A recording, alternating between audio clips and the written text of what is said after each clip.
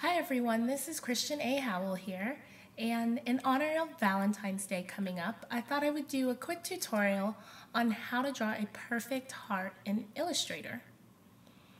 Now, I um, am a Mac user and I use a lot of keyboard shortcuts, so I will explain those as I go.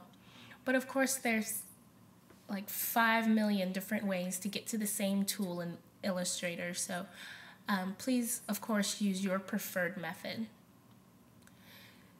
And if you're a PC user, when I use the Apple command, you can just interchange that for the control key. So the first thing we're going to do is select our circle tool, or we can just press L on our keyboard. And we're going to hold down shift, and that's going to allow us to draw a perfect circle. Then we're going to use our selection tool or V on the keyboard. Hold down shift and alt and we're going to copy this shape and move it over on a parallel plane. The next thing to do is to select both shapes. Come over to your Pathfinder palette, which can be found by selecting Window and dragging down to Pathfinder and this palette will appear. We're going to select this first button, which is going to combine the shapes, and then we will expand them, which will make it one continuous shape. Next, select the Direct Selection tool, or A on the keyboard, and we're going to select just this point right here hold down the shift key and drag it down to form the point of our heart.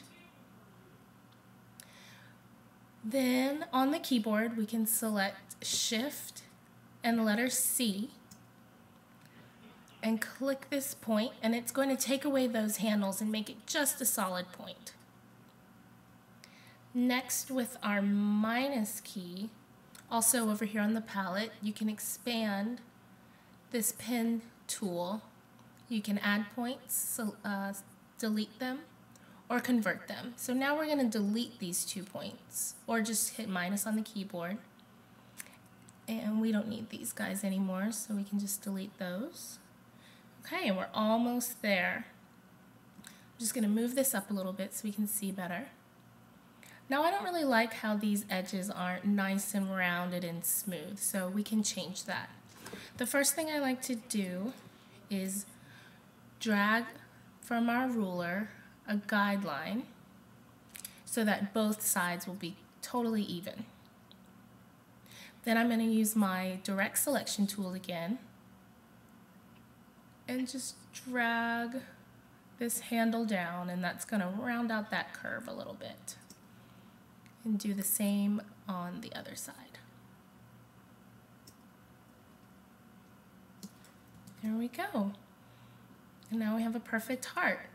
Now if that's a little too round for your taste, we can use our direct selection tool again. Choose this point and hold down shift and stretch out the heart shape a little bit. And then there's all kinds of fun things you can do. Like sometimes I like to do funky shaped hearts where I can kind of manipulate the shape a little bit so it's not so perfect. So it feels a little more sketched. And maybe this side a little bit too. And of course, if you don't like what you see, you can just hit undo or Apple Z. Maybe I just want to stick with my perfect heart. So there you go, pretty simple. Trick I use all the time is a great starting off point for my heart shapes. And sometimes they get a little crazy from there.